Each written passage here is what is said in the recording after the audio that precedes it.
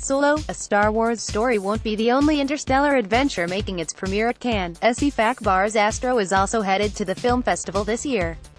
The sci-fi project tells the story of a billionaire who funds his own space exploration program and returns to Earth with an alien that he captured from another planet.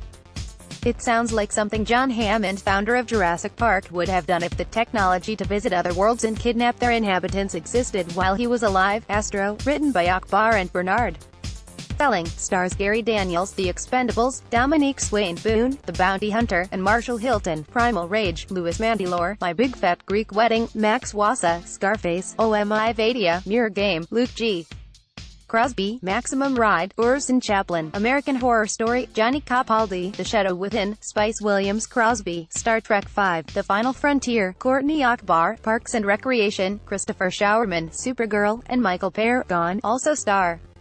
Watch the exclusive first trailer below. Video of exclusive Astro trailer sneak peek. Sci-Fi Wire According to The Hollywood Reporter, part of principal photography took place in Roswell, New Mexico, the site of many UFO conspiracy theories, a place where many believe that an alien spacecraft crash-landed in 1947 and was hastily covered up by the U.S.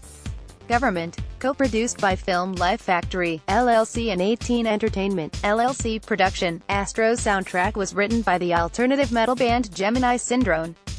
As it so happens, the band's drummer, Brian Steele Medina, did both the music and special effects for the trailer. Akbar's movie makes its debut at Cannes, but will hit home entertainment platforms sometime in July.